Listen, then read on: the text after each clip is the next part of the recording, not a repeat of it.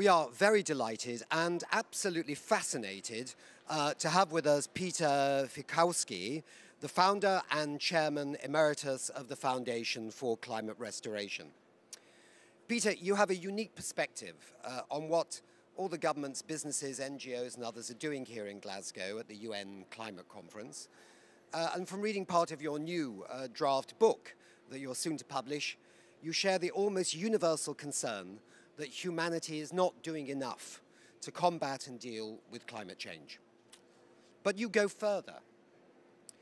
If I understand correctly, your perspective is that even if everybody follows the climate agreement, the Paris Climate Agreement to the letter, with energy, with vigor, with vision, with commitment and stepped up ambition, it's still not enough to ensure safe living conditions for the planet and its now over 7 billion people. Indeed, you describe the Paris Agreement as a Paris suicide pact, which is certainly tough talking uh, and, and, quite a headline grabber. Uh, I think it's true to say at the core of your deep unease is that the much vaunted net zero target of 2050 and, of course, the halving of emissions by 2030 uh, which many countries have agreed to now in companies and cities, is not really a safety limit at all. Uh, humanity must and should take a further big step, uh, which you term climate restoration. Peter, we're going to turn to this momentarily soon, but first describe to us who you are uh, and how you came onto this unique journey and perspective.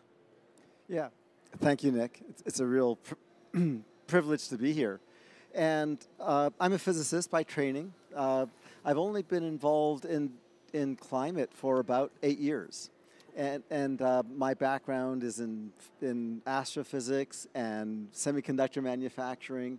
And uh, for 30 years, I was doing advocacy as a volunteer for poverty work. Mm -hmm. And I came, in, came into this um, around 2010, and I could see that poverty was actually, and hunger was getting, beginning to get worse, that we are making huge progress in the 80s and the 90s, mm-hmm. And even around 2000, and things plateaued, and it was the climate, it was very clear. And I was amazed, uh, when I was at MIT as an undergraduate in studying physics, I was read about global warming, and they told us, well, it was just very clear, we're, we were pouring all the CO2 in the air, and we would have to take it out, just like any pollution. And I, I thought I considered worrying about it, but I said, you know, we have submarines, we have spacecraft, we have the technology technology to get CO2 out. And I didn't want to get in the way. I actually stayed in astrophysics because I, I didn't want to be in the way of the really smart people, the adults in the room, who are going to get a trillion tons of CO2 out. Right. And then you fast forward from 75 to 2010, and I have my software business. I have 27 patents in image analysis and software. And I think, thinking, good, let me see what the climate community is doing. Yeah. And they hadn't take on, taken on getting, doing what I thought was the obvious, and I think our audience will agree is the ob obvious. You have to get the pollution back out of the air. And they said, well, we have to adapt to it. We have to waffle. And um, and that was the origin of climate restoration. I was, uh, I had been coaching the, a group called Citizens Climate Lobby, and they were making progress, and then, but not much progress. And I finally said, great, what is your goal? What, what's the end result? And the, ED, the executive director said, hmm, Peter, that's your job now. and that is the last job I wanted, right? right. I'm a, a reformed astrophysicist, artificial intelligence scientist, figuring out what the climate goal was. Anyway, so but I took it on uh, with a lot of consternation, and realized that um, created climate restoration from that because I realized the only reason we worry about the climate is because we're humanity. Mm -hmm. And we want our grandchildren to live as well as we we're did. We're conscious. We're conscious beings that are aware of something, yeah. yeah. Well, you're just coming to this moment now where you're starting to talk about climate restoration.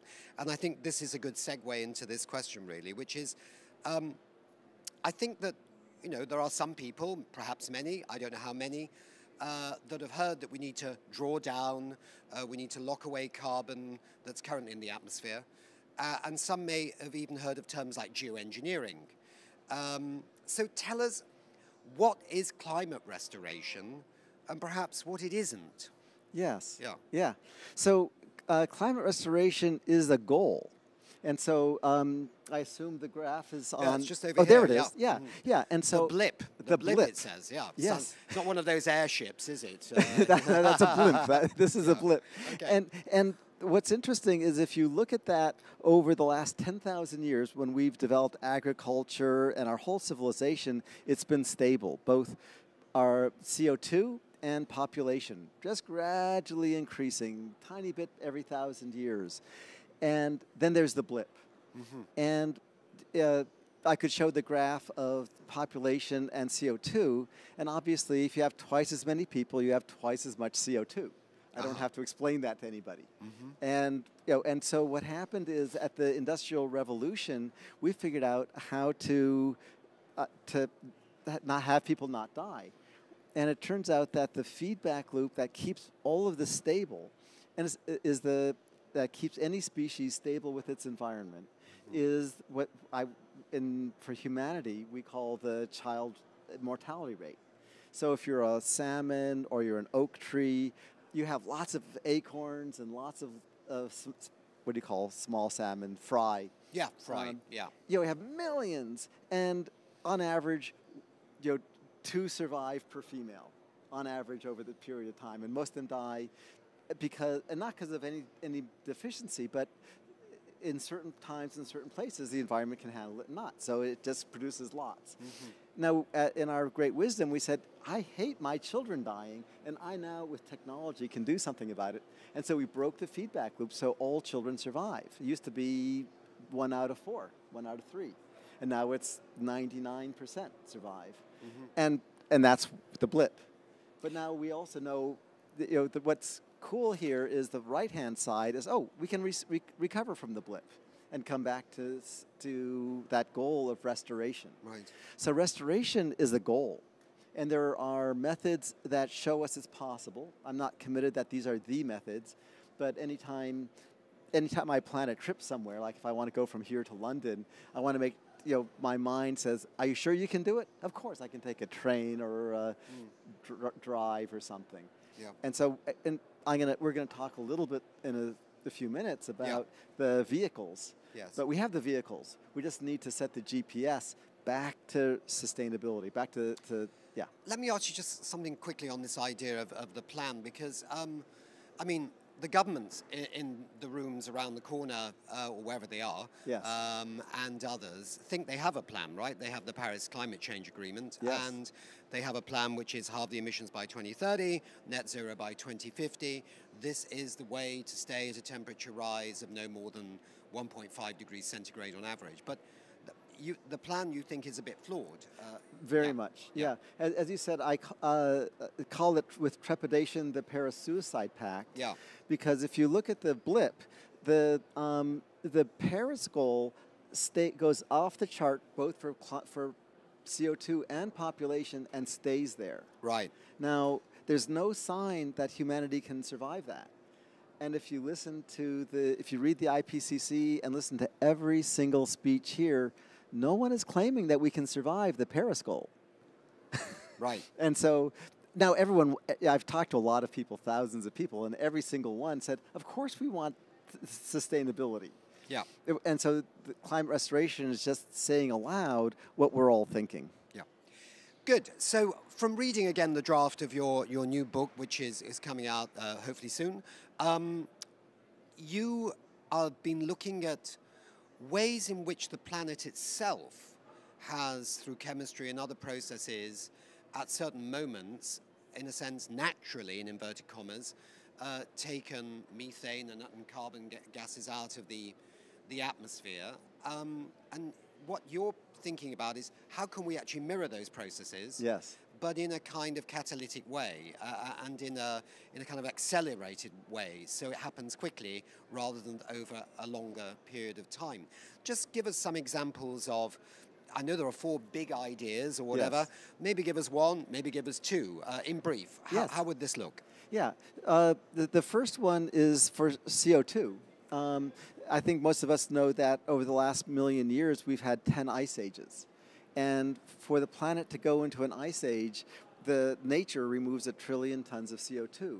And that's the same amount of CO2 that we put into the atmosphere and we're going to take out again. Mm-hmm. Now, some people would say we should take out, but you and me, we're going to make sure this thing happens. So okay. we are going to take it out. All right. And um, and what's interesting, if you look at that graph, and I sometimes show it, it goes up and down, and you ask, well, wait a minute, where does nature put that CO2?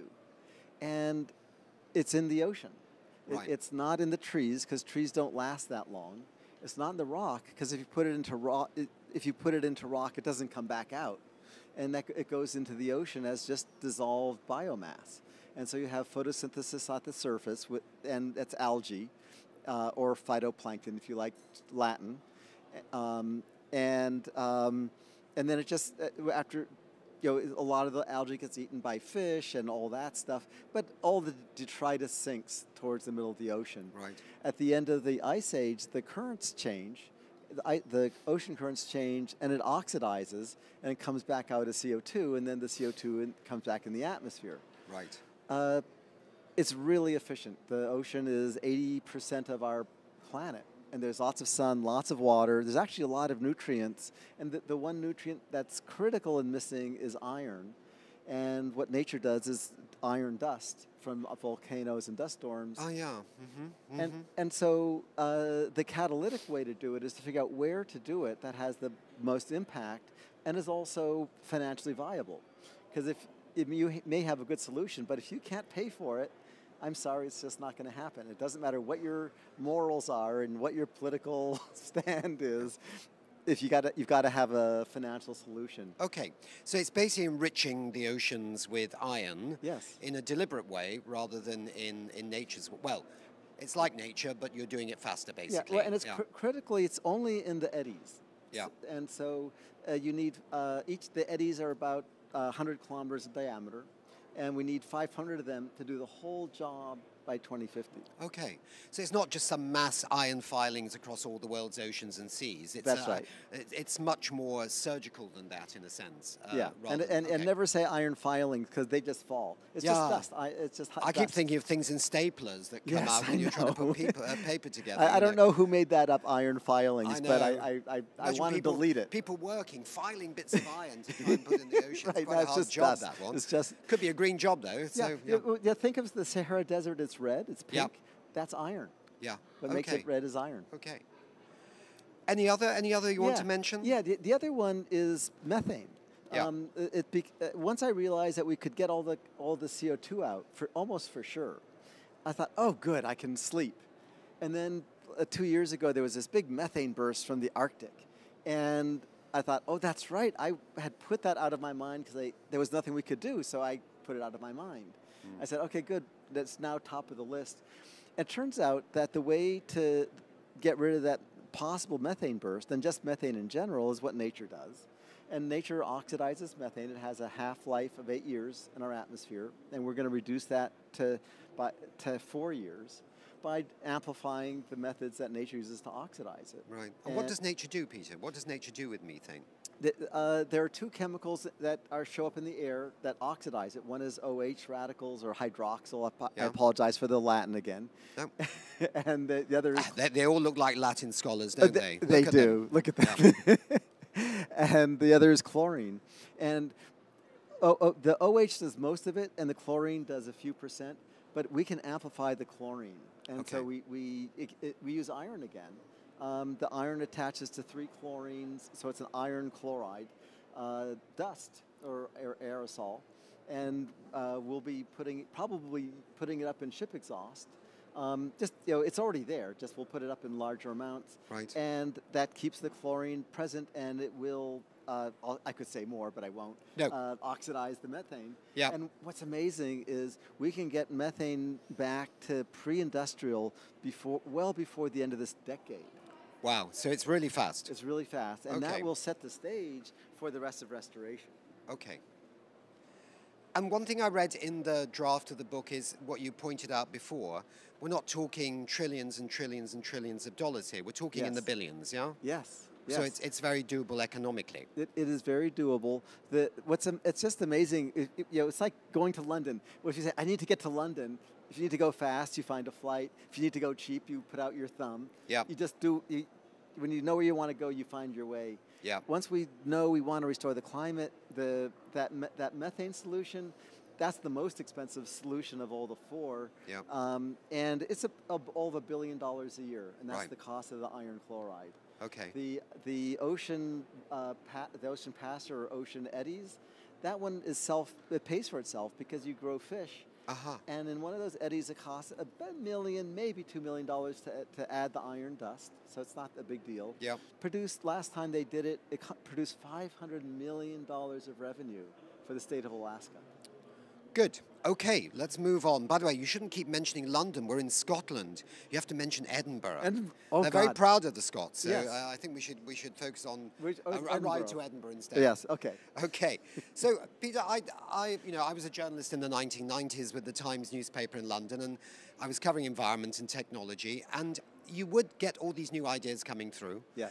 I mean, in those days, in the 1990s, a unit of uh, renewable energy was like something like $50 a unit. Every, a lot of people laughed at renewable energy then. Yes. Right? And, and now, of course, it's cheaper than coal in many places, which is, is Yes. a, a great achievement.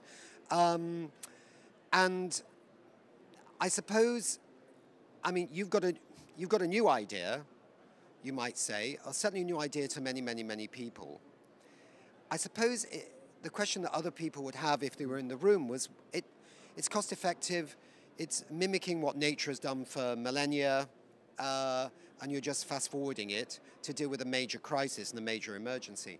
For the blip. Why, yeah, for, why are the other scientists, uh, why are not governments, uh, why are not people all rising up and saying, we've got the answer, let's do it? Where, where is the break on this at the moment? Oh, that's great.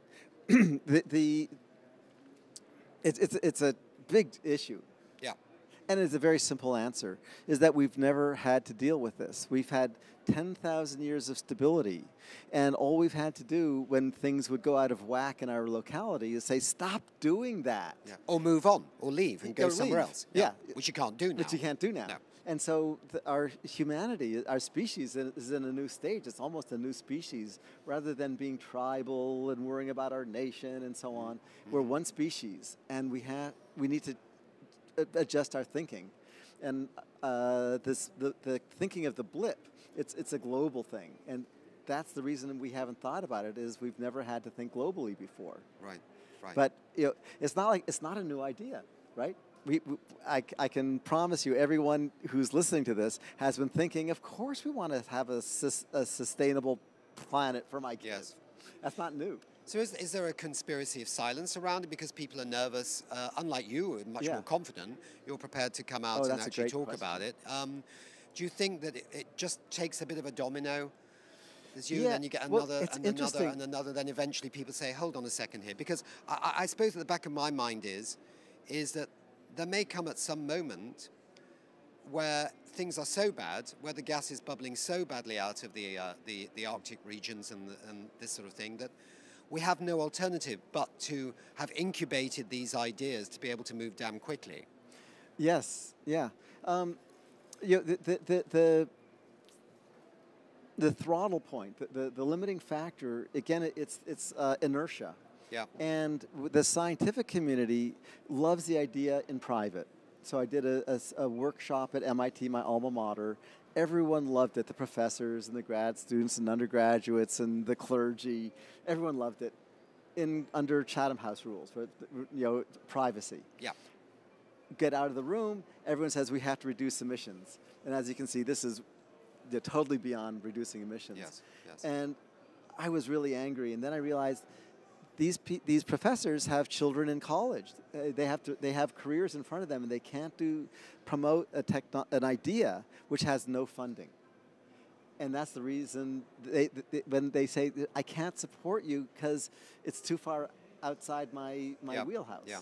And so the action that needs to be taken is if you're a funder, fund the science for restoring the climate. Have the researchers figure out how to do it faster than my idea. There's Yeah. one person. Yeah. And if you're not a, a funder, tell your your uh, your leadership you know, be the, the media, especially your social media, that we are going to restore the climate and fund the research. Let's quickly then go to uh, where do we go from here? Where do we go from here, uh, Peter? I mean, what would be your message to governments in the corridors? Uh, what would be your message to NGOs? Anybody really? Uh, what's the plan here? What are you, Yeah. what, are, what are you actually going to say to people when you meet them in the corridors or in the rooms? Yeah, uh, it, uh, it, it's as I just said, it's fund the research. Now, what's interesting is we have the. I was going to say, Yes. Peter, because you have this three-month plan, right? Success three months from now might look oh, like this. Oh, right. Yeah, Oh, success th- might very, look like very this. Good. Thank you for reminding me. Just yeah, I think it'd be good to outline that. Yeah. Yeah. So, s yeah, success three months from now would be some billionaires, and there are billionaires who are interested in this, and family offices who are interested in this, but they don't want to stick their necks out, just like most of our friends don't. And so, we want to produce the enough media that yes, we are going to restore the climate. We are going to ride the ride the blip, um, and fasten your seatbelt. We're going to ride the blip, and it's okay for these funders to fund it. What uh, is is there any Achilles heel in this story? I mean, I've never known anything that's perfect, right? I mean, even I'm not perfect, Peter, and I, it's hard to Well, believe. I know. Can you believe that? Don't worry. I've got lots of members of my family who'll attest to that's true. Okay. Um, but is there any is there any downside to, to what you envision? I mean, Well, is there it- a risk? Well, uh, yes and no. That is, um, again, going to Edinburgh. You know, if you and I go to Edinburgh, we will get lost at one point, and then Uh-huh. we'll find our way. And so, everything that gets, every solution that gets implemented, there will be screw ups, and they'll, you'll, we'll correct them. And so, uh, there will be short-term problems, but what's nice is if you focus on just a solution like growing trees, you can run into trouble because sometimes you have the wrong species and maybe you planted your whole continent with the wrong species of tree. That's a big problem because trees last a long time. Now, if you're focusing just on the goal of, of riding the blip to the other side, now if you say, oh, I think those trees are the wrong trees, you immediately correct. And that's Yeah. why it's important to focus on the goal, not the solution. Right. Uh, colleagues, uh, technicians, people out there, how much longer do we have for our interview? Could you just advise me? One more minute.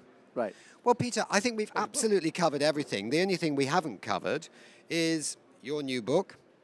Uh, let me hand it to you Yes. there, which is in draft at the moment. Yes.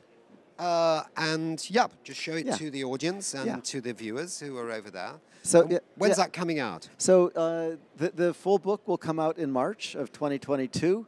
Um, Climate Restoration, the only future that will sustain humanity. Imagine that. And what's funny is it's such an audacious claim, and I've never found any way to say that it's not true. Yep, yep, yep. Well, sometimes we need audacious claims to get Yeah. people to sit up and pay attention. Right, and you, you can find you can download the, the summary chapter he, which we print, printed here on my website peterfiekowsky.com. Okay. Super, Peter. Well, it's been a real pleasure to, to meet you and, and to hear what you're doing. And uh, I wish you great success here at the COP in, in, in discussing this with as many people as possible. And let's see where it goes from here. Let's see where it goes. Ride the blip with me. Exactly. Ride the blip, yes. Okay. Thanks very much, Thank Peter. you. Okay. Thank you.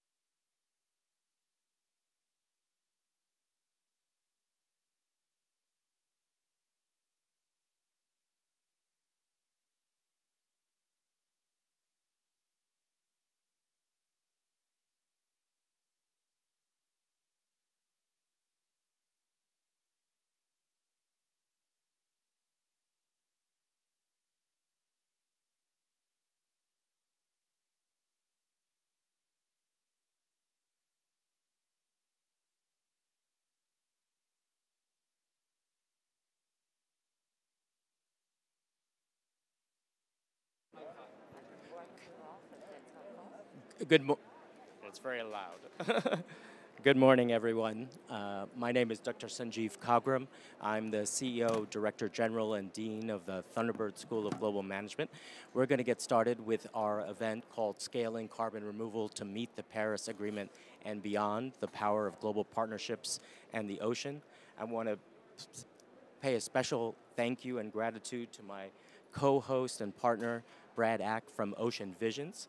Uh, we're going to focus first on a broad overview of a brand new global partnership on carbon removal that we're launching today. Then we'll have a deep dive into oceans as a critical mechanism and set of methods for carbon removal. And then we'll go back up to the larger uh, picture of the partnership and a series of activities and programs we are launching and continue to advance.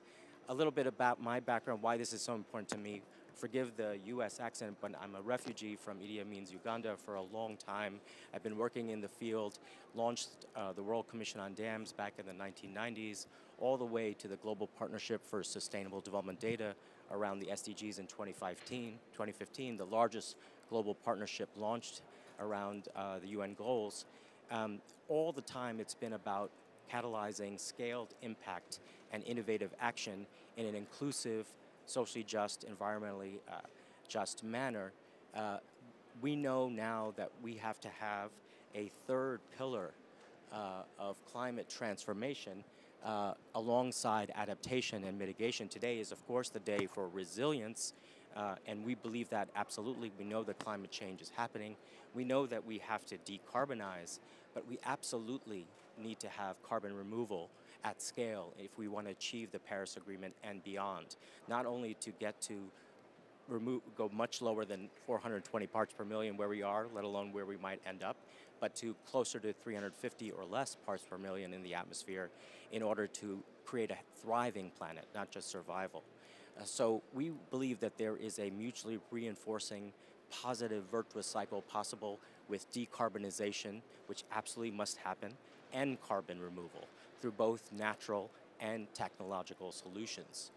As you see here, in order for us to do this, we have to be working together in tandem uh, to get to net zero and beyond.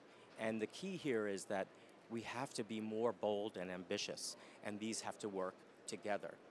Uh, we have a set of principles uh, for carbon removal worldwide, and this is where I'm going to stop before passing on to my wonderful colleague, Amanda, Ambassador Amba, uh, Amanda Ellis, from the ASU uh, Global Futures Lab, who has been our partner in, in launching this initiative. As you can see, the principles are very clear durability, performance, social and environmental equity, absolutely central, transparency, and inclusivity. Now, we launched the Carbon Removal Task Force in Davos in January 2019. It was the, one of the largest events in Davos at the time, and of course, we were just entering the pandemic. Over the last 20 months, stakeholders from around the world, particularly from the global south, have been working together to launch this global partnership.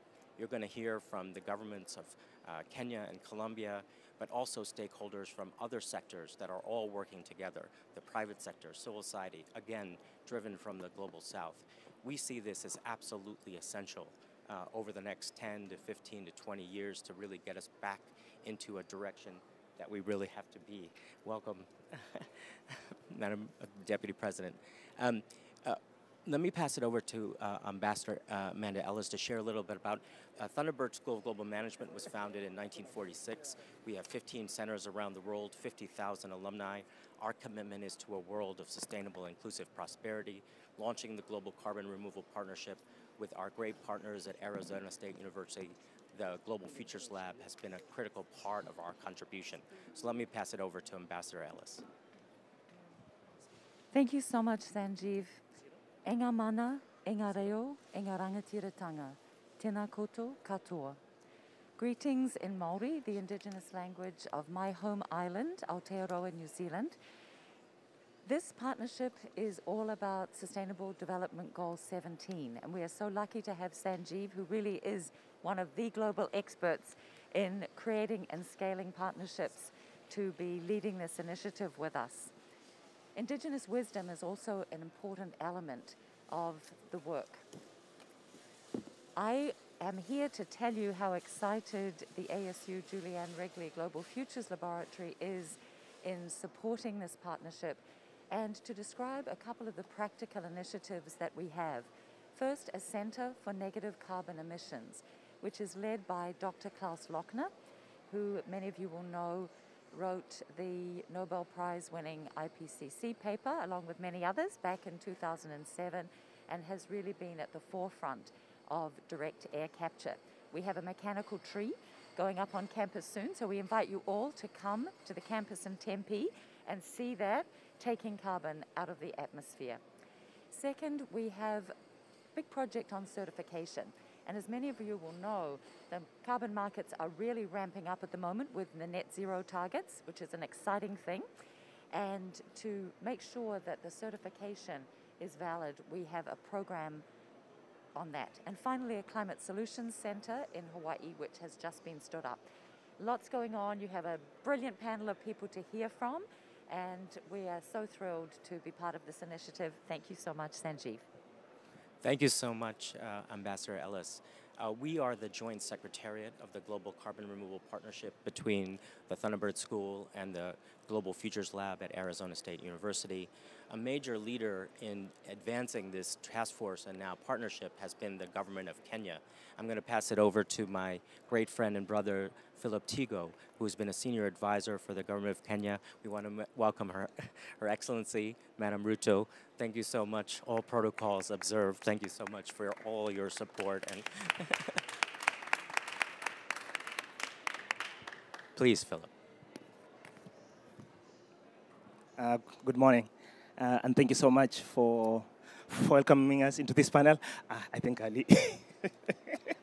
uh, I'd cede my seat at the moment to the Senior Advisor for Climate, Mr. Ali Mohammed. Uh, Ali.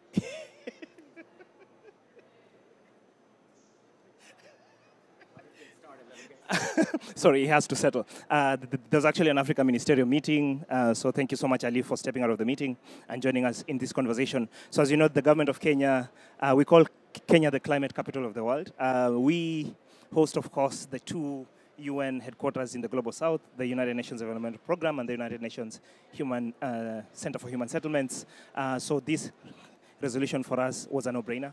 And so when we got uh, to collaborate with, of course, uh, Thunderbird School of uh, Global Management, the city of LA, Colombia, uh, into looking at how carbon removal can be that, um, can bring the capability uh, combined with natural means to, to sort of remove legacy carbon. So basically, we have been sponsoring the resolution um, on carbon removal. This was tabled at the UN General Assembly this year in September. It's still at the second committee.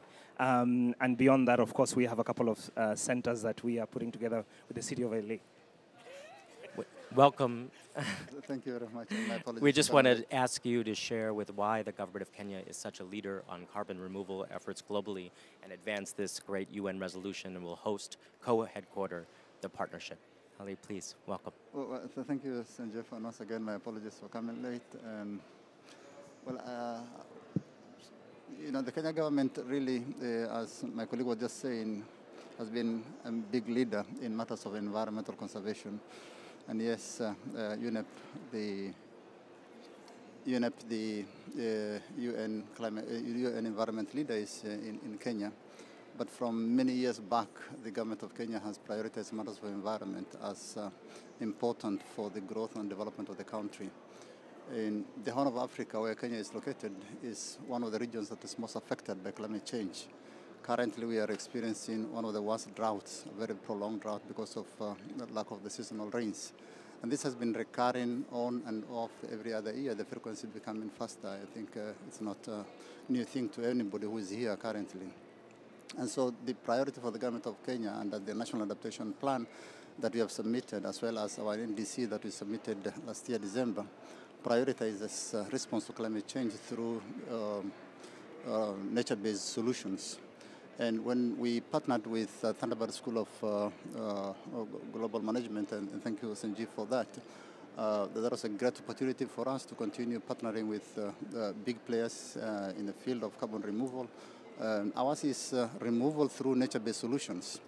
Uh, and we are able to do that. We have a big land mass, 590,000 um, square kilometers of land.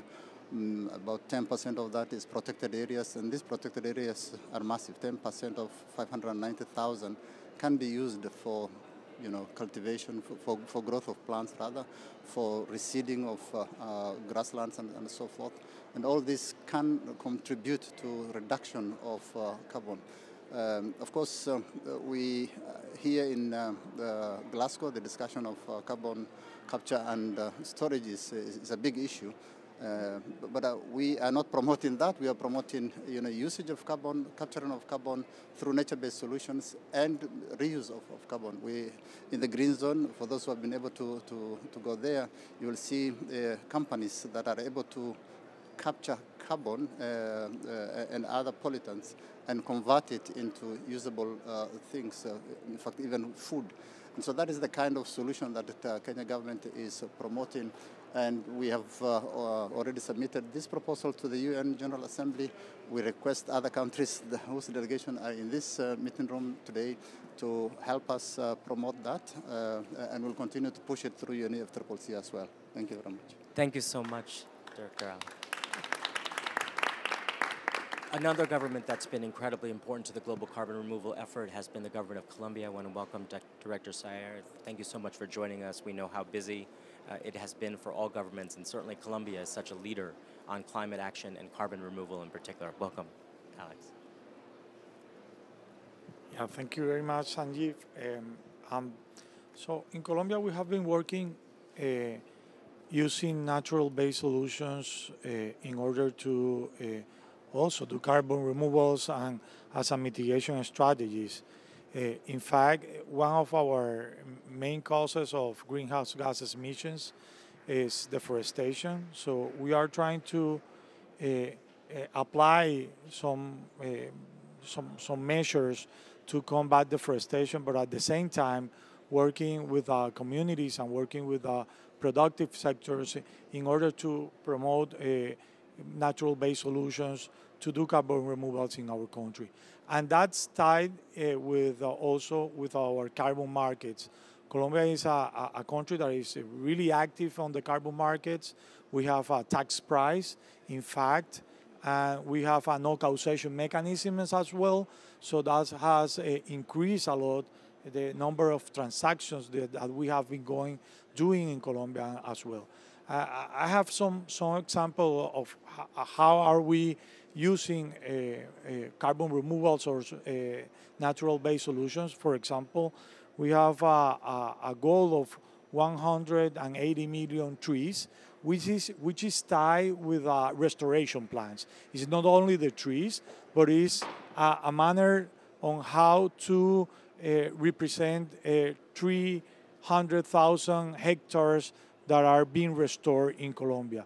And one important thing about this, this program is that we are working with companies on their compensation plans. We are working with local governments and local authorities, environmental authorities, in order to put in place this plan. We already planted 90 million trees in Colombia, which are uh, which with a commitment of a three-year maintenance. Also, we have a program in Colombia called 1 Million Corals. Um, and uh, it's another uh, program that we are developing with the communities in order to not only restore but replenish some some coral coral reefs that we, we have in Colombia. And uh, also we are working right now in one of the first blue carbon projects in Colombia uh, that we recently launched uh, this year in Bahia de Cispatá. And we are working with eh, 18 different communities in, in order to maintain, uh, replenish, and restore uh, mangrove uh, areas in our country. And another important natural-based solution, which is really focused on to carbon removal, is that we are working with the beef industry and the uh, and the industry, like agricultural industry, to do silvopasture. Um, and we, we have uh, uh in our NDCs, we have a silvopasture goal, and as well we develop a, NAMA, NAMA Ganaderia, as we call it. and in this NAMA, we are working with, uh, with cattle ranchers in order to promote uh, silvopasture uh, in our country. And in that way, we want to reach uh, zero deforestation to 2030, which is one of our main goals in Colombia uh, in our NDCs on, on, on to, to uh, 2030. So in this sense, we are working with uh, many actors and many and many fronts to put in place uh, these kind of activities that will help us not not only on the mitigation uh, side but also in the adaptation side because these kind of solutions uh, uh, uh contributes to to all this and on the on as a transversal way we are working on a, a, a strengthening our carbon markets regulation. So right now this year we are going to issue a new regulation on OBBs uh, organisms for validation and verification, that will give uh, transparency and, uh, and will enhance our carbon, our carbon markets in Colombia. Thank you so much, Director Saer. So I think you hear from our uh, government leaders in Kenya and Colombia, the Global South is really leading the way and must lead the way in terms of global climate transformation and particularly carbon removal. That decarbonization adaptation can be done hand in hand with carbon removal. They don't have to be mutually exclusive. There's a major focus on natural solutions, absolutely essential. And in our deep dive on oceans uh, with Brad Ack and colleagues, you'll see a major aspect of that but we also want to highlight the incredible new technological solutions, as was mentioned by Ambassador Ellis, direct air capture, negative carbon building materials, and many others. These all have to work in tandem together. Now I want to go over to Ambassador Cousins, um, Cousin, sorry. Uh, thank you so much for joining us, Ambassador. I'm going to have someone pass you. Oh, you have it? Great. I just want to say, as, as a part of an introduction, um, Mayor Garcetti of the City of LA has been an incredible champion of climate action, obviously as the chair of the C40. Ambassador Hachigian, his deputy mayor of international affairs, has been an incredible partner for us from the very beginning. The City of LA with its transformative plans for climate and sustainability has been a support to the Global Carbon Removal Task Force and now partnership. And so the partnership will be co-headquarters, as I mentioned, in Nairobi and Los Angeles. Thanks so much for joining us, Ambassador. Over to you. Well, good morning. And uh, first, let me thank you, Dean Sanjeev, uh, and the Thunderbird School, and of course you, uh, Ambassador Ellis, for your leadership in organizing this partnership and today's event. My name is Ertharin Cousin, and I'm the former U.S. Ambassador for Food and Agriculture and the former Executive Director of the World Food Program. And I know some people would say, what is Ertharin doing here talking about energy and carbon removal? Because the reality of it is, we don't have the choice of doing food and agriculture, transportation, and energy, we must do it all simultaneously in order to address the challenges of reducing greenhouse gas emissions and achieving the net zero goals that we all look forward to working together to achieve. I sit on the board of the Angeleno Group, a pioneer in providing growth capital for next generation energy and climate solutions. The Angeleno Group is based in Los Angeles, California, and was founded in 2001, and it's one of the largest private equity firms dedicated to clean energy and sustainability investment in the United States, making growth investments for a global scale. Our strength is rooted in what is Los Angeles is doing to reduce emissions and transition to green and a just economy. The ambitious goals set by Mayor Eric Garcetti and LA's Green New Deal depend on collaboration between public, private, and nonprofit sectors.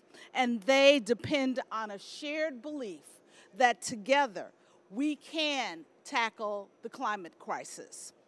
I want to highlight just a few of LA's climate milestones.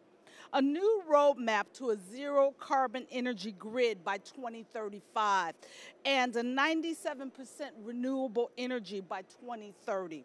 with data to support that this transition will be cost effective and reliable for LA residents.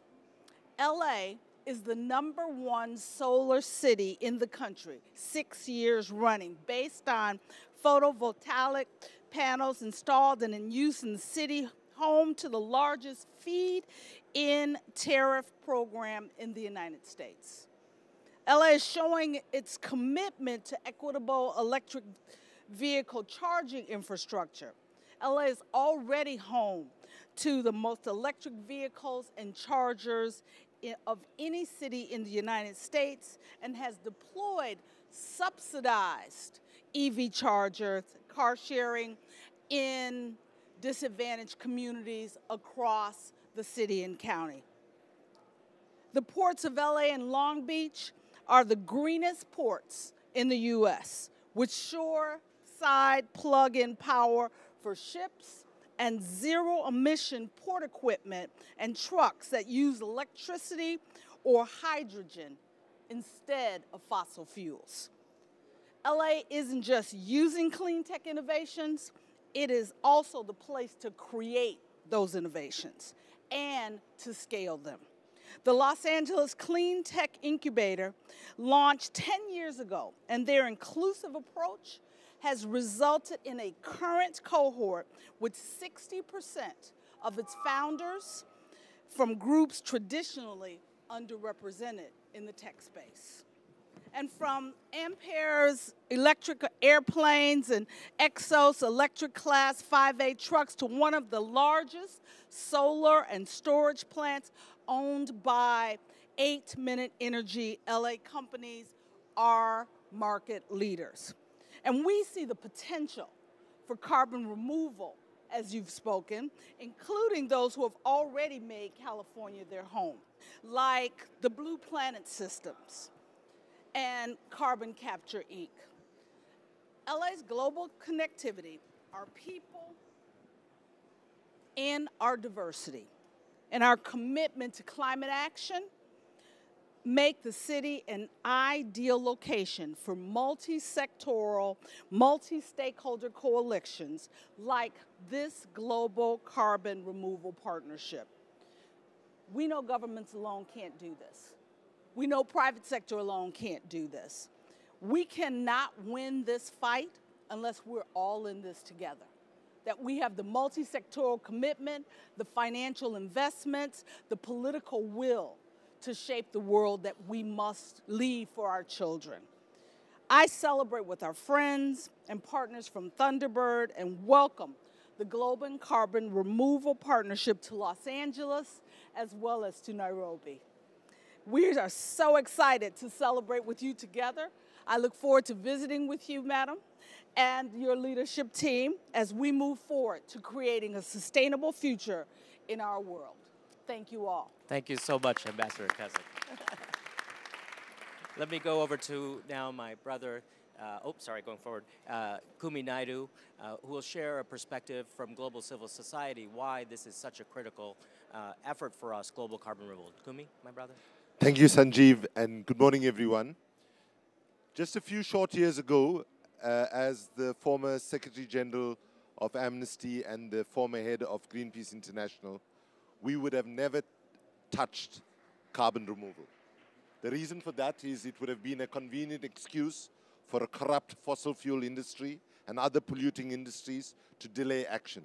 Thankfully, we have now finally, very late, won the argument that we have to decarbonize, and we have to be very clear that the agenda of decarbonization has to continue as the IPCC has said, and that even if we did that, even if tomorrow we switched off all emissions, we still do not get out of the mess that we have created. That in fact, the math does not add up. And it is for that reason carbon removal becomes a key part of climate action as a third pillar. Uh, in 2015, when I was in the Pacific, I heard people chanting the slogan 1.5 to stay alive. Six months later, when I met the same delegation in Paris, they were chanting 1.5, we must survive. The reality and the elephant in the room in this COP is that this COP, by the way, I've attended many, many. Mary Robinson just said this is the most male, pale, and stale COP that we've had. This is the most white and elitist, northern dominated COP that we've had. And we need to make sure that these principles, which are sound and uh, progressive, are genuinely, genuinely adhered to if we are to actually make sure that this moves forward in a positive way. Um, I want to draw attention especially to 3, 4, and 5. I think social and environmental equity does not exist in the world, and we need to make sure that every initiative moving forward, that there is um, adherence to it. Transparency, especially with regard to how this process rolls out right now and how we deepen consultations with indigenous peoples, with frontline communities, with those most affected has to be critical if this is to win the legitimacy of a large number of people who have been in the front line of the climate struggle who will be hesitant about an initiative like this. So there is a lot of work that needs to be done. I just want to conclude with two um, sort of elephants in the room in a way. One is this assumes that the economic system that we have stays exactly as it is while we try to do this.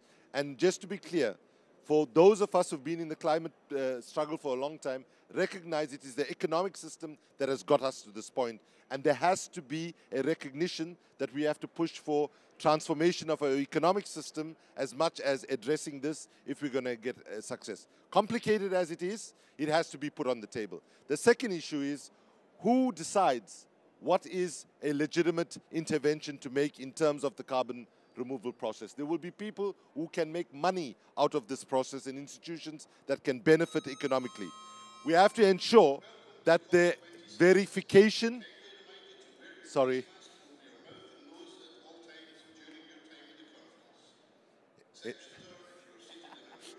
sorry. Take your time, Let's get them going. Sorry.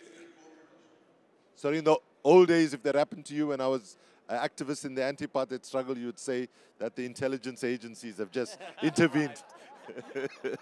uh, so, so, so let me just say, I think there will be many ideas, and, and we hope that this initiative here will generate and create an enabling environment for much more innovation, creativity, new things that we don't even know about just yet, right? But who decides ultimately that that is a legitimate intervention going forward. And I would say that we need to figure out how we engage with the IPCC so the IPCC actually has a voice in providing an independent verification of some of these initiatives. For example, the tree planting that my brother from Colombia has spoken about, we know that in the uh, 2018 IPCC report, there was a clear call for 1 trillion trees to be planted, for example.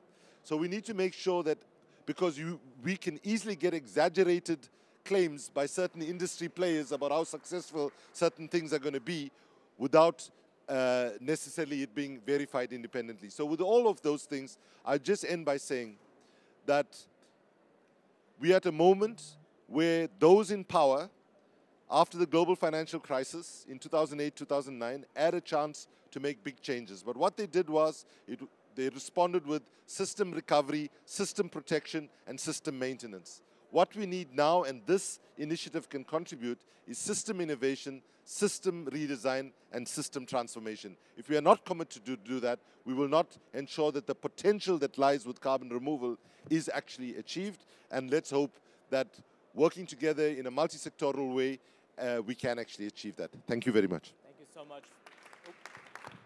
Thank you so much, Brother Kumi. We're going to now transition. I would just, I hope you get a sense of the power behind the partnership Global South, Global North, across uh, stakeholders. We're going to go now deep into system innovation and transformation with Oceans, with Brad Ack, and an incredible team of folks. So we're going to step down and let Brad take over. Welcome, my brother.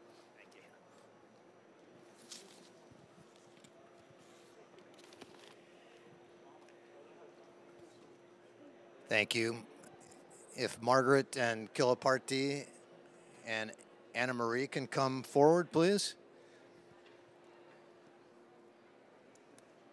Well, that was an awesome uh, introduction to the global partnership for carbon removal. Clearly, we have a broad-based coalition of organization and entities that are interested in carbon removal. We know we have an enormous mountain to climb for carbon removal. We are literally talking in the from the IPCC between 100 to 1,000 gigatons of carbon must be removed by through the course of this century to have a chance of reaching the 1.5 goal. If we want to do better than 1.5, we're going to have to take out more. So we are going to need many new solutions to this problem. The capacity to remove carbon at that scale does not exist right now. Biggest plant was announced uh, a month ago in Iceland, 4,000 tons. Okay, take that by a thousand, that's 4 million tons. And then another thousand would be 4 gigatons. We need between 100 and 1,000. So, the question here on the floor today is can the oceans play a role in helping with some of this carbon removal? And here I have a great panel uh, with me to talk about that. And all of us are members of a consortium called Ocean Visions, which is essentially a partnership between some significant players in the marine, uh, oceanographic sciences, and academic space, coupled with private sector players, accelerators, investors, um, conservation organizations, and others. And our focus is really around the question of how do we bring new thinking and new technology and new solutions forward for some of these problems. And we're particularly focused on ocean based carbon removal. Here to what we're going to do with you today in this brief time we have is I'm going to turn to uh, Margaret Leinen, who's the director of the Scripps Institute of Oceanography, one of our esteemed partners, to talk a little bit about why climate action, why carbon removal is so important for ocean health. Not just how oceans can contribute to climate health, but why we have to have carbon removal for ocean health. I'm going to then go into a deeper dive of some of the pathways for ocean based carbon removal and then we will um, talk about some of the most critical challenges of governance and social and political acceptance, equity and justice, and other considerations of great importance. So, without further ado, let me turn it to Margaret Leinen to give us an intro to oceans and uh, climate impacts.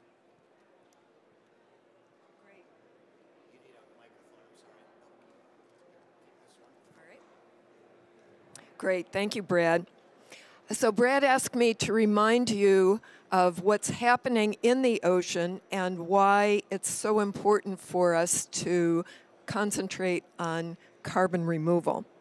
So, most of you know that, that uh, the first and most direct uh, impact on the ocean is its uptake of CO2. It's currently taking up about one third of the CO2 that's generated by our emissions. And that has a direct effect on the ocean because the CO2 dissolves in the ocean. And as a result of that, it very slightly acidifies the ocean. And for years, we, we kind of ignored this because the impact uh, of acidification was so small. Starting in 2005, we realized that that was a huge oversight. We first demonstrated then that the, the foundation of ocean life, plankton, were being affected by CO2, and that it was making it more difficult for many plankton to make their skeletal elements uh, as a result of the acidification. Starting in about 2012, we found that it was affecting the viability of shellfish larvae, so it was now affecting food. And then, even more recently, we have found that it is, a, it ha, is having a great impact on the physiology of, of ocean organisms. So, both in terms of the foundation of the ocean ecosystem and and the and the the uh, physiology of the organisms in the ecosystem, CO2 uh, is a is a major impact. The second uh, impact is indirectly through the heating of the atmosphere. And over time, that heat in the atmosphere is being taken up by the ocean. In fact, the ocean has taken up more than 90% of the heat generated from greenhouse gases. And we've uh, as a result of the Argo program, we know that the entire upper 2,000 meters of the ocean has warmed significantly and has warmed significantly even in the last 20 years. As a result of recent work uh, studying the deep ocean, we found that that heating continues down to the, the great depths of the ocean. Even at 6,000 meters depth in the ocean, we're seeing the impact of heating. So the ocean itself is heating. That makes the ocean expand, and that creates the indirect effect of sea level rise. 50% of sea level rise is a result of ocean heating. The rest is a result of melting of uh, land bla- land-based glaciers and, and snow. But half is a direct result of ocean heat. The third uh, uh, indirect effect is deoxygenation of the ocean and the warming of the ocean and it, its impact on what's called uh, the oxygen minimum, which occurs around 200 to 700 meters depth in the ocean, has been to amplify that oxygen minimum.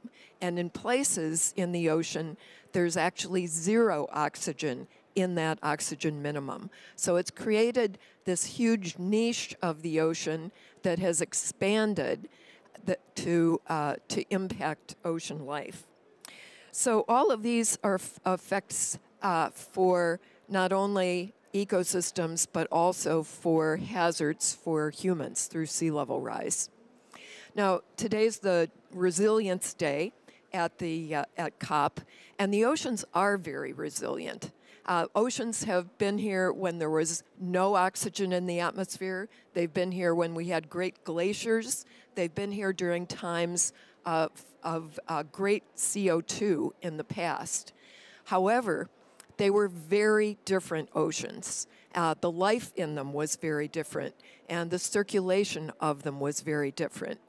Uh, so, the resilience, the thing that we have to worry about, is not so much the ocean, but us, because our entire civilization is based on the ocean of pre industrial CO2.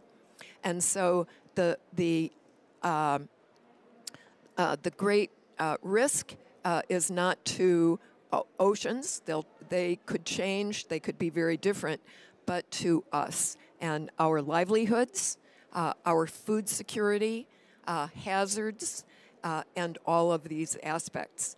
And uh, before we go on with the rest of the discussion of nature based solutions in the ocean, I want to remind you that most of the carbon on the planet is in the ocean in the form of bicarbonate. So most of these techniques look to enhance that dissolved bicarbonate in the ocean, uh, which has plenty of uh, capability of taking it up. Thanks, Brett. Thank you, Margaret. That was a great overview of climate impacts to the ocean. So the question really is not only can we use the ocean to remove carbon, but can we actually restore the ocean, protect the ocean, replenish the ocean by removing and safely storing carbon? Because without getting that carbon out of the atmosphere, the oceans are going to continue to change in a way that is going to be very difficult for humans on the planet, not to mention all the life in the ocean. So, Ocean Visions has been working on a series of what we call roadmaps for um, ocean based carbon dioxide removal. It starts from a premise that we have to have a new climate action plan for us and for the ocean. We have spent the last 40 years on number one here, which is decarbonization.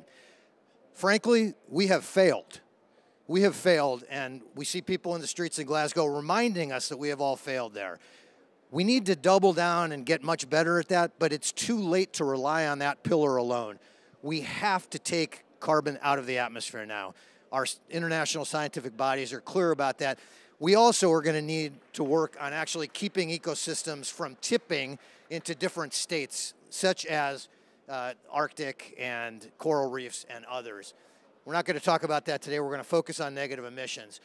I already mentioned the IPCC made it very clear all pathways that limit um, warming to 1.5 require massive, massive carbon removal. Again, 100 to 1,000 gigatons. 1,000 gigatons is a trillion tons of carbon. And 1.5 isn't good enough, right? We know we need to go past that, and that means we're going to have to even take out more. So, what role does the ocean have to play? Margaret already mentioned the ocean already stores a significant amount of carbon, 50 times more carbon at the bottom of the ocean than in the atmosphere. So, if you can manipulate that a little bit in a safe way, which we don't know yet for sure, but if we could, the ocean clearly has the capacity to store a lot of carbon. And what's interesting uh, is that there may be significant co benefits for nature. For example, taking carbon out of the upper layer of the ocean reduces ocean acidification. So it also can help restore uh, habitat for, for fish and, um, and other marine life. Clearly, there's many less conflicts than on land. So we convened experts uh, across the globe for uh, over a year to really look at what are some of these pathways and what are the needs in order to move them forward to a point where we could answer the question can they contribute in a meaningful way to this problem? There's a number of ocean based pathways. I'm going to go into each of them uh, very briefly. Anything that photosynthesizes in the ocean potentially removes carbon. So, could be microalgae, could be macroalgae, any ocean plant. Um, then there's more uh, sort of uh, processes that follow geologic approaches to carbon sequestration, which is interacting alkaline material with seawater. Uh, and then there's actually much more advanced technological approaches that are electrochemistry, essentially the direct air capture uh, in oceans.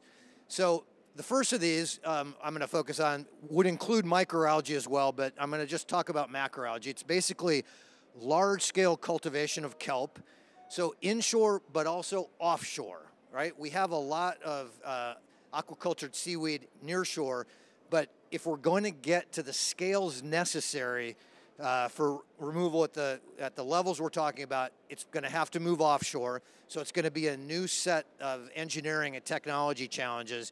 But basically, once you grow the seaweed, you've got a variety of options for what you can do with it. You can truck it onto land and create um, products uh, that permanently or, or for a very long time store the carbon, you can actually put the biomass at the bottom of the ocean and store it that way. There's a lot of work that needs to be done about environmental effects uh, and about durability and additionality, but nevertheless, there's a whole range of opportunities around macroalgae. The second one is essentially accelerating the geologic processes in the ocean that already will recycle all this carbon that we've put in the air, but it will take millennia. This is uh, an attempt to speed it up by interacting what are abundant minerals on the planet with seawater uh, to essentially create more of those bicarbonates that Margaret was talking about through a fairly complex chemical process. But we know this works. This is, uh, this is not uh, speculative. We don't know if we can do it at the scales necessary and we don't know what the impacts will be when we scale it, but we know that it's a pathway for carbon removal. The last one is electrochemical, which is basically just think of the direct air capture equivalent in the ocean. So you're using electricity and membranes to remove carbon out of seawater where it's much more abundant than it is in the atmosphere. So potentially, electrochemical approaches could be very effective in the ocean because there's more carbon to capture than in the atmosphere. So all of these require a lot more work, and that's what we did with these roadmaps. So this is, if you go to the website, oceanvisions.org forward slash roadmaps, you will see this, uh, this home screen. And for each of those three big domains, as we call them, of carbon removal, um, you will see uh, you will see the state of the technology, which has an overview of the technologies in that domain, what some of the technology readiness level is, what the CDR potential is, and environmental co-benefits and environmental risks. There's also actually a social co-benefits and social risks that uh, is in the current version. You will then be able to also click on what are the gaps and needs. So what do we have to do to build out these areas? And that's including things like engineering, like science, monitoring and verification. And then last and most importantly, what are the first order priorities? And again, this was crowdsourced with a lot of uh, scientists and practitioners and government officials and others um, to try and determine what are the most critical next steps to answer the question will ocean based pathways be able to contribute to carbon removal at scale? And can they do that in a way that is less harmful than the illness that we're facing right now from an excess of carbon, right? It has to be less harmful than, than the path that we're on. So one of the maps is um, there's the three technology maps, and then there's two maps on cross-cutting issues. One of those cross-cutting issues, which is absolutely the critical, is around social and political acceptance. These are novel concepts. There are very strong constituencies concerned about the oceans. I've worked in ocean conservation for 30 years, so I'm part of that.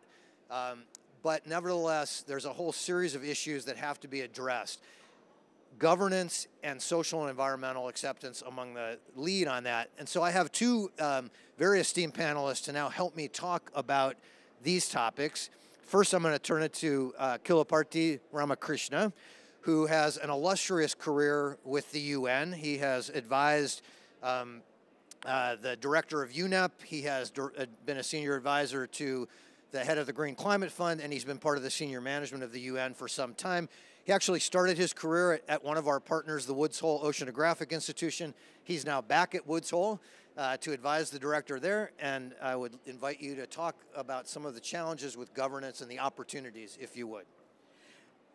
Good morning. Thank you very much, Brad. I appreciate the opportunity to be here and to speak to you about this. Uh, you know, those of you that are interested in oceans and their role in providing solutions to the climate crisis that we face probably know for a long period of time uh, that they are connected, in, inextricably and importantly connected, and we need to do something about it. But those of you that are in the negotiations, um, probably don't realize that. You know, this is one of the biggest tragedies. You know, as Brad mentioned, I worked with the UN system. I was in the drafting of the Framework Convention on Climate Change. But until the Paris Agreement, there is no mention of the oceans in the agreements that we have. Um, and you know, you don't get that sense when you look at what is happening, you know, in the outside arena. Um, if you look at the IPCC special report on oceans and cryosphere, you know, it clearly talks about in the high emission scenario, 60% of the oceans is going to be impacted by uh, what, what we are doing to the climate change. In the low emission scenario, about 30% of the oceans is going to be connected. The question of the role that oceans play, and particularly the carbon dioxide removal, uh, is a no-brainer. You know, when you think about it, the international system, particularly the negotiations that are going on, don't really capture that connection. Uh, they did not do that with forests in the beginning. They did not do that with the adaptation in the beginning because they wanted it to be just emission reductions that they could measure and monitor and verify and so on and so forth. All good, but the, given the crisis that we are facing, we cannot afford to miss out on any solution and particularly the vital role, as you have heard from both ASU and Ocean Visions, um, and my colleague uh, from Scripps, is absolutely vital. And then so we need to think about that, you know, very carefully. Uh, the last point that I want to make is one of the things that is being said about CDR is like it is just some crazy bunch of scientists talking about this. Um, it, is not widely known. Far from it. The National Academies of Sciences in the United States have con conducted reports. There's another that is going to be released this month, I, I believe. Um, and, you know, th there is quite a lot of uh, studies that are there that tell us exactly what the implications are, and it's time for the world community to pay attention to that. And clearly, there is more work that needs to be done in terms of getting the message out to the negotiators. Um, and the very last point that I want to mention is that we need to think about the multilateral frameworks that exist, you know, whether it is the Law of the Sea Convention, London Dumping Convention, the protocol, um, and the Biodiversity Convention, uh, and the negotiations that are currently underway, biodiversity beyond national jurisdictions. We need to bring all of them in sync with what the climate goals are seeking to achieve. And unless we do that, we are going to be missing out on not only the biggest opportunity, but as, as uh, Margaret talked about, um, you know, the damage that we would be doing to the oceans uh, and the impact that they would have on humanity would be irreparable and something that we cannot afford to take on. Thank you. Thank you very much, Rama. So uh, you'll see at the bottom of this slide that one of the key obstacles is underdeveloped regulatory and governance structures. And we clearly need to insert this topic into international negotiations like the one we are at today. There is almost no discussion that I'm aware of at COP26 about ocean based CDR other than this event. I hope there's others. Um, we welcome the government of Kenya's uh, contribution to the resolution for carbon removal. That is an important uh, step in moving this forward so that governments begin to talk about these pathways and create regulatory, enabling regulatory frameworks to, for the testing and development. There's also a whole series of environmental issues that have to be studied and have to be questions that have to be answered. Nobody wants to move forward to do anything that would be worse than what we face. Here to talk a little bit about some of the environmental concerns is our final panelist, Anna, Anna Maria Laura, who is currently the head of climate policy for the Ocean Conservancy, but she also has served in that similar role at RARE, both of which are um, uh, U.S. Uh, conservation organizations. And she advised one of the most climate and ocean literate senators in the U.S. Senate, uh, Sheldon Whitehouse. So, Anna Marie, please take away. Thanks, Brad, and thanks for having us here. Um, I think this conversation is really important to remember the context of how the ocean protection movement began which was to counteract this idea that the ocean could handle whatever we took in and that we could take whatever we want out, it, out of it. And that just ended up not being true. There were consequences to our activities. So then we started managing these resources and permitting and restricting who could take what and when. And that also led to sort of a privatization of a lot of the resources, where the benefits of access and utilization accrued to only a few. Um, and so it's really within that context that we find the ocean community and a lot of the environmental community um, preaching a precautionary approach when we talk about some of these solutions, including CDR. And there are really good reasons for that, and we have learned a lot, but that, that is part of where it's coming from for good reason. Then the other reason that you um, that we do need to proceed with caution is that, as Brad has already mentioned, we're not sure about the mitigation benefits. So when you're the solutions that um, are being put forward, the scale that they may need to be implemented is really a system scale or an ecosystem scale. And when we're not sure about mitigation benefits, then it is with caution that we need to proceed because we cannot afford to get this wrong. When we talk about the climate solutions that are on the table, we don't have a lot of time. We need to act quickly. And so we want to invest and double down on the solutions that actually achieve the mitigation potential, the mitigation reductions that we know we need. And so that means we need more science and research, and we need it very quickly to understand the mitigation potential, to understand the environmental consequences and risks in a, in a more robust way than we currently do. Um, and if we can get that science and research going now, then potentially when all of the good commitments that are being made here and throughout the end of the week, we hope, um, start to be achieved, we will also be ready to come in with some science based and uh, environmentally just and socially just solutions. And then just the third thing is that the fact that there are these net zero commitments, and we've heard a lot this week, means that an emerging carbon market is coming. And that can be a really good thing to catalyze the science and research that we need. We also just need to remember that markets attract interest that may not be aligned as much with their climate goals as they are with their profits. And we've also seen that in the past. And so that's another reason that we need to um, really think carefully about who the benefits of a new market accrue to, who gets to participate in that market, and who makes the decisions. And that one of the solutions, if we're going to go forward, is making sure we view this sector in particular through a justice lens, um, starting with the science, who does the science and where is it happening, all the way through to decisions about pilot projects and scaling up. Um, all the way through the end. And so it's it's really this needs to be a justice lens. We need the science if we're going to move forward, um, and we need to make sure that we think carefully about who the benefits of a new market will accrue to. Thank you so much. That was an excellent, quick overview of some of the most critical challenges that we have to deal with here. These roadmaps uh, lay out all of these opportunities. They are actually like wiki sites. You can sign up to be a contributor. You can actually put projects up.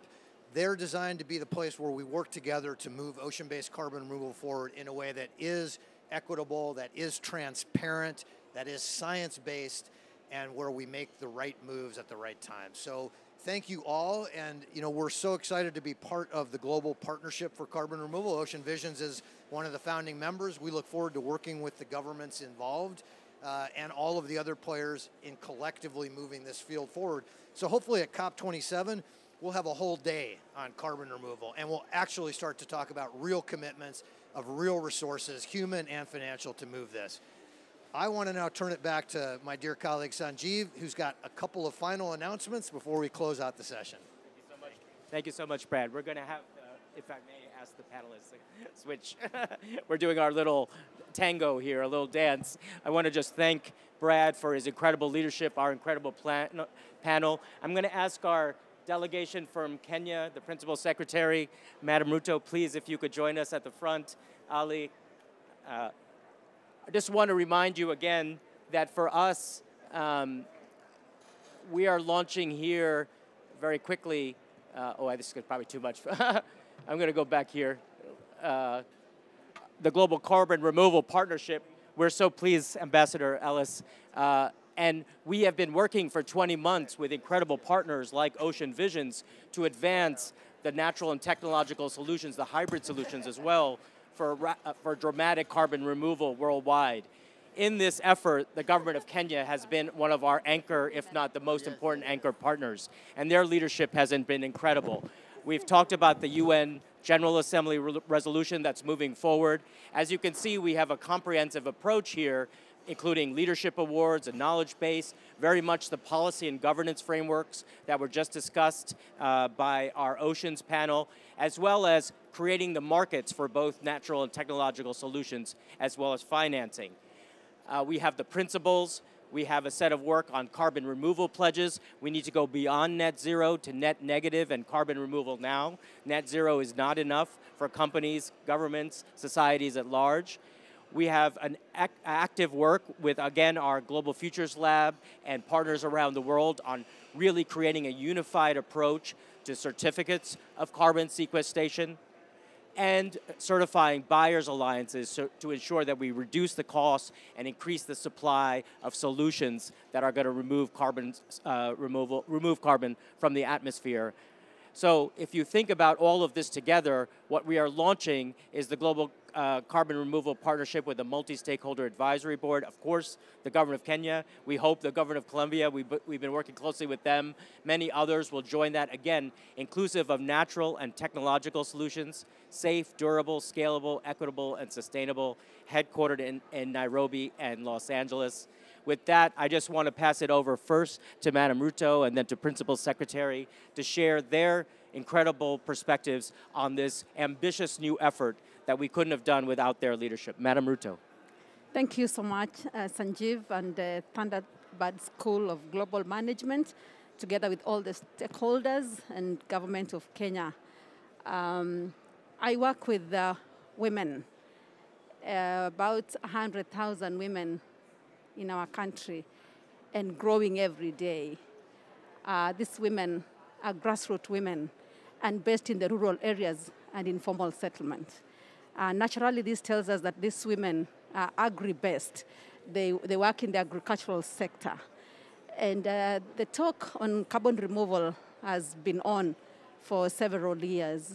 And uh, uh we know that uh, women are, play a great part in, in carbon removal, especially in the things that they do in the agricultural sector, in the rural areas. Uh, I'm very glad like, uh, that one of the principles on carbon removal is inclusivity. We know that uh, many other times that uh, women are excluded in this talk.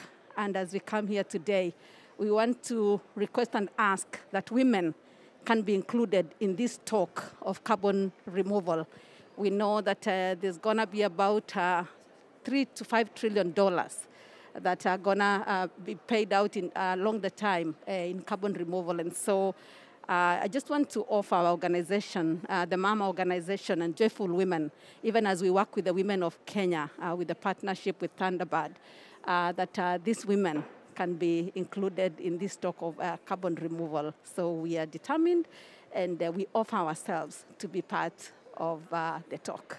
Thank you. Madam Ruto, you are our champion. The women of Kenya and the women of the world are our champions. Over to you, Principal Secretary.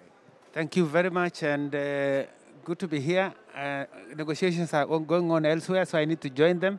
But I just wanted to be here to register the presence of the Kenya government here, and uh, just to say that we are happy. We are going to be Nairobi is going to be the host for the global partnership. As you know, Kenya is a leader on matters environment. We host the UNEP, and our credentials also on areas of mitigation uh, speak for themselves. If you look at our renewable sector, the energy sector, over 90% of our energy is green. It is, it is clean.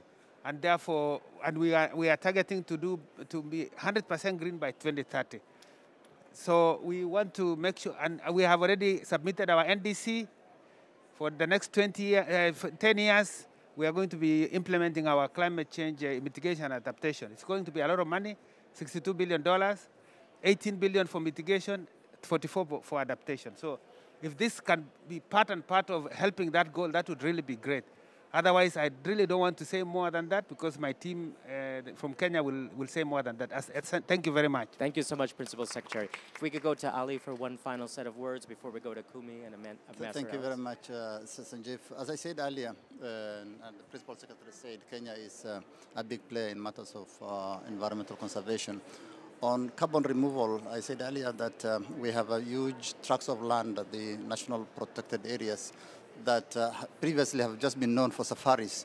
But we're now working with the U.S. organizations, the U.S. Uh, aid and other private sector to convert this into huge carbon sinks and to pay for themselves. Uh, and we're working with them. Uh, hopefully, uh, we will be able to conclude the Article 6 negotiations here so that the markets can start now generating the resources that are required for adaptation and so on, uh, for adaptation and mitigation. And so we'll use our forests, our protected areas, to convert them into huge things and, and bring benefits to the local communities and to the country and to the globe. Thank you. So I'm going to pass it over to Brother Kumi for final words. Albert Einstein once said, the definition of insanity is doing the same thing over and over again, expecting to get different results. We need to be bold, innovative, inclusive, and courageous in actually exploring additionality to the current two pillars that we've had of mitigation and adaptation that sadly have not yet delivered anywhere close that we've wanted. But to do so in a way that wins global public support is critical. And so as this partnership evolves, we need to make sure that those that are suffering most as a result of current climate impacts their voices need to be heard in this process. That those that benefit directly from the different initiatives are those that currently suffer the most. And if we have that uh, principles in our mind and we explore uh, and implement each of those five principles in it with absolute seriousness, earnestness, and commitment, I believe that carbon removal can give the possibility for Kiribati, for example, uh, known mostly as Kiribati. But Kiribati, for example, already has had to lease land from Fiji in preparation for the entire population to be uh, relocated there. Sadly to say in conclusion, that far too many powerful and rich countries in the world have basically taken a view for some time now that those people in small island states, least developed, uh, uh, developed countries and all, are dispensable and it's fine if they just disappear. Carbon removal offers us a possibility for those communities to be able to give, be given a chance for survival. And for that reason alone, I would say, we have to give this the best possible shot we can. Thank you very much.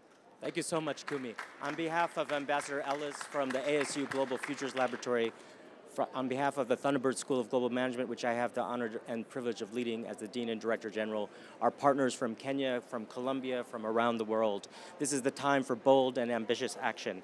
anything you want to learn about in terms of the carbon removal partnership, please check out our website, and you can certainly, of, of course, uh, contact us. This is the time, and we are ready to go. Carbon removal is a critical third pillar of global transformation around climate, but also more broadly for social justice, environmental justice, and economic uh, progress. Thank you all so very much.